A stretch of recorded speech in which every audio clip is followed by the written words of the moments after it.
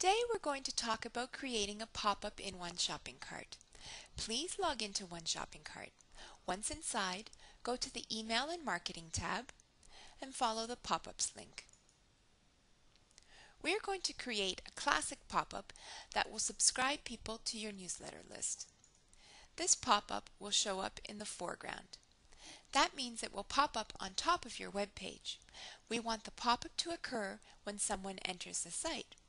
You can also have a pop-up occur when someone leaves your page, but for this example, we're going to do a pop-up when someone enters. Let's leave the time delay at zero. That means that it will pop up as soon as the page loads. I'm going to set the width to 700 by 350 and I'm not going to choose to have scroll bars on my window and I'm going to leave the resizable checked as yes. Okay, so now we have the option of choosing a system hosted form or a file that we've already created. I'm going to choose the system hosted join newsletter form and I'm going to click next step. You'll see that the system has created the code for you to copy and paste into your web page.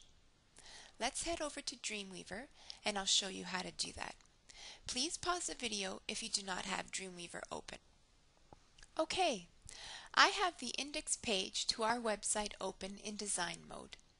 I'm going to switch to code view and then head back to 1ShoppingCart.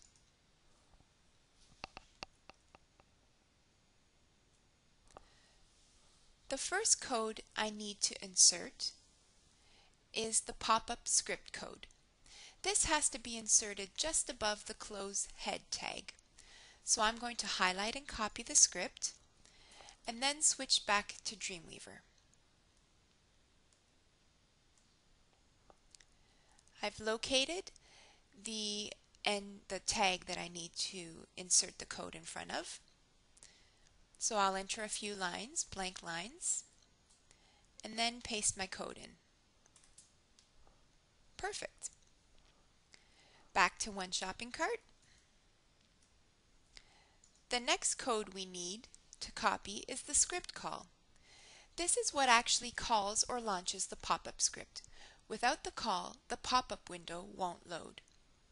We need to insert this as part of the body tag. So let's copy the code and head back to Dreamweaver.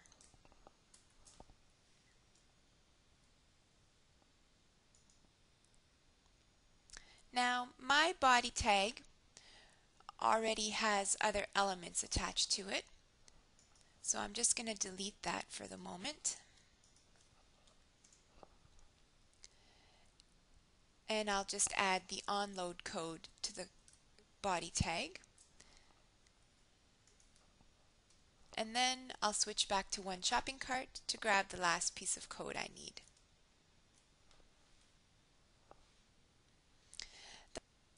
The last piece of code is needed if you have other links on this page that lead to other pages of your site.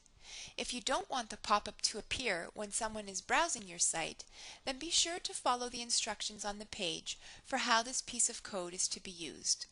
Once you've finished your changes, save the file and upload it to your web server. Clicking over to my browser, this is what the finished product looks like. If you want to modify the look and feel of the form, then you'll need to choose the option to link to a file you've already created. Pop-ups are a great tool that can be used to help increase your opt-ins. Feel free to contact me if you have any questions.